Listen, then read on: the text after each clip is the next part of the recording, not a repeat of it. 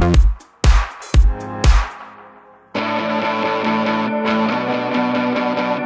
Dziękuję serdecznie. Ania jest bardzo inspirującą e, osobą. Ja też e, podczas tego programu wiele od Ani się nauczyłam.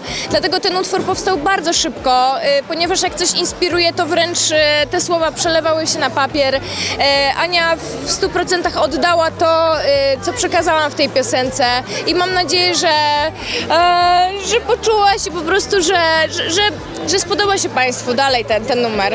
Kontrakt na płytę jest, czy planujecie wspólnie jeszcze pracować e, przy płycie? Jesteśmy w tej samej wytwórni, więc myślę, że jeszcze na pewno coś muzycznie stworzymy razem. Aniu, a jakie są twoje e, zamiłowania muzyczne? W, co, w którą stronę chciałabyś pójść?